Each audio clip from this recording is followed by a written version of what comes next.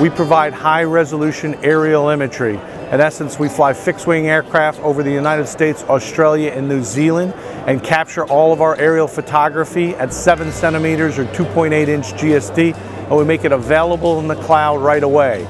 So we, we take ortho imagery, oblique imagery, and 3D. So I'm going to show you a demonstration of how Nearmap works. We're working with our global map browser. In this particular case, this is Las Vegas, Nevada, and it's ortho imagery where we're looking straight down.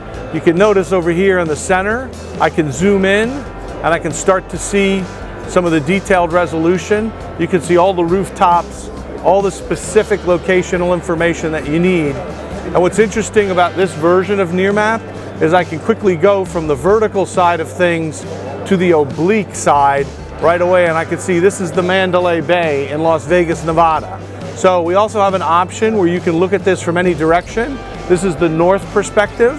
I can certainly go in and look at it from the east perspective um, or west.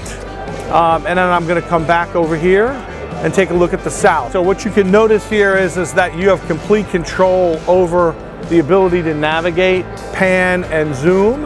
In this case, I zoomed out and you can see a larger coverage area, which allows you to quickly identify places. I could go and use my search bar and go to a different metropolitan area anytime I want.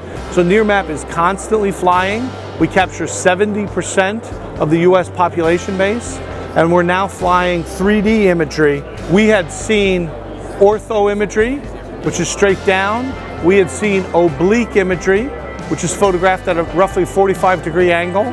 What we're introducing at the show is 3D imagery. So imagine our camera systems and planes are flying. We're taking pictures at an angle, lots and lots of photography, in essence creating a dense point cloud.